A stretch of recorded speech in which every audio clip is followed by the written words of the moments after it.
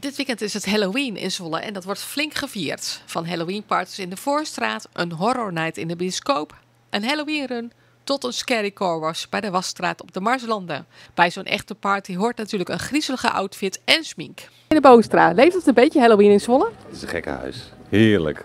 Ja, ze zijn allemaal weer zo gek als een deur bijna, maar ja, het leeft echt wel in Zwolle. Ja. Wat voor categorie leeftijd is dat?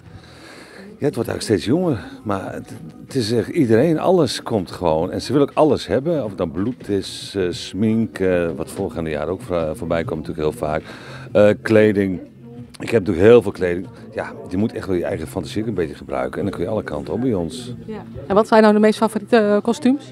Eh, de doktersjassen doen natuurlijk heel goed. De koks eh, eh, capes, heel veel capes. En ja, als het maar eng is, het moet gewoon bloederig zijn. Je moet zelf ook toevoegen. Hè? Het is als basis zijn, dan kijk ja, ik, ik zie er vrij eenvoudig uit eigenlijk toch wel. Maar ja, zo werkt het lekker steventjes.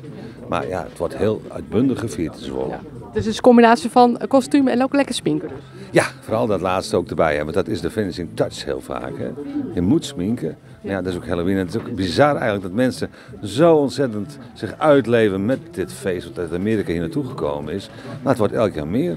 En we kunnen het niet aanslepen. Want we hadden nu ook bestellingen. Nou, zwarte vleugels bijvoorbeeld. Nou, ik had er wel honderd meer kunnen verkopen. Ze zijn niet aan te slepen. Het is, eh, Als we het over Amerika hebben, Netflix, heeft dat nog invloed? Ik denk het wel. Ze komen ook heel vaak wel heel gericht met foto's en afbeeldingen van films. Ja, ik heb ze echt niet gezien, want ik vind zelf helemaal niks. Ik vind hele lelijke films ook allemaal, dat bloederig gebeuren allemaal. Ja, ik, eh, maar ja, de mensen houden ervan, dus ik pas me maar een beetje aan. Hè. Soms moet je dat gewoon. Eh 31 oktober is het, hè? Wanneer is dat? Ja, volgens mij, dit komend weekend gaat echt wel gebeuren, hè. Dan is het Halloween eh, weekend. Ja, en dat, dat zit ook echt aan. Je voelt het ook, het vibreert. En, maar het is ook heel gek. Je hebt soms even een heel rustig moment en in één keer dan stroomt de winkel weer vol. Ja, en dan heb je allemaal vragen en dan... eh, gelukkig hebben we heel veel, dus we kunnen wel heel veel mensen ook echt helpen.